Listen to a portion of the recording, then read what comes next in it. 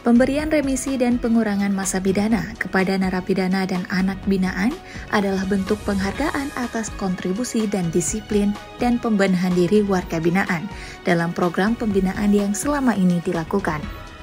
Hal tersebut disampaikan oleh penjabat Gubernur Aceh Bustami Hamzah saat membacakan sambutan Menteri Hukum dan HAM RI pada acara pemberian remisi umum dan pengurangan masa pidana umum peringatan hari ulang tahun ke-79 kemerdekaan Republik Indonesia tahun 2024 di Lapas Kelas 2A Banda Aceh pada Sabtu 17 Agustus 2024.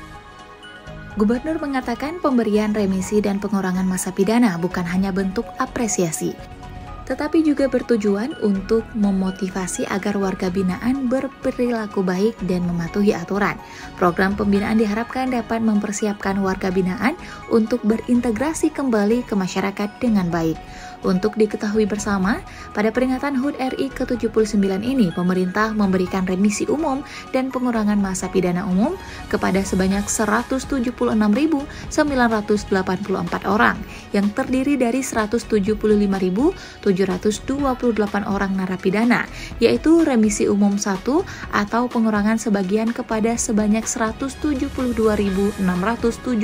orang, dan remisi umum 2 kepada sebanyak 3.050 orang, di mana setelah mendapatkan remisi ini dinyatakan langsung bebas. Sisanya diberikan kepada 1.256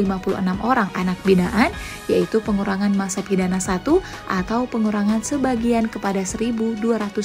orang, dan pengurangan masa pidana dua kepada 41 orang setelah mendapatkan pengurangan masa pidana ini dinyatakan langsung bebas.